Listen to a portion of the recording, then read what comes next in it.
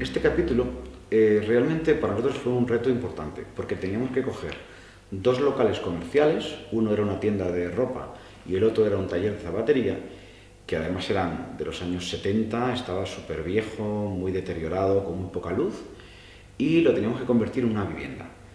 Como esto era un local y tenía una altura bastante importante, cuando abrimos los techos nos dimos cuenta que teníamos cerca de 4 metros. Quisimos aprovechar esa altura y darle un sentido a esta vivienda. Entonces se nos ocurrió crear un loft de estilo neoyorquino, traerlo al corazón de Madrid, porque además es un tipo de vivienda que en Madrid no se encuentra. Eh, cuando uno busca locales de este tipo, apenas hay zonas donde podemos conseguir crear un loft, sobre todo por el tema de la altura.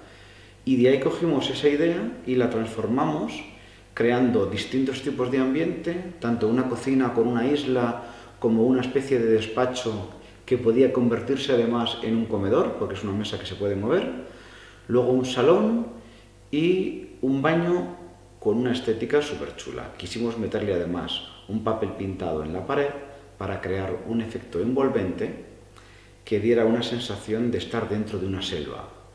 Y en la planta baja decidimos colocar el dormitorio y el vestidor. Colocamos además una alfombra y un puff que nos diera un toque como si fuese una especie de suite. Y la verdad es que el proyecto ha quedado redondo porque creo que con los elementos que hemos añadido, como por ejemplo un pequeño jardín en la zona superior del cuarto de baño y una galería imitando una especie de biblioteca que le diera una segunda altura al, hall, eh, íbamos a tener un proyecto realmente interesante.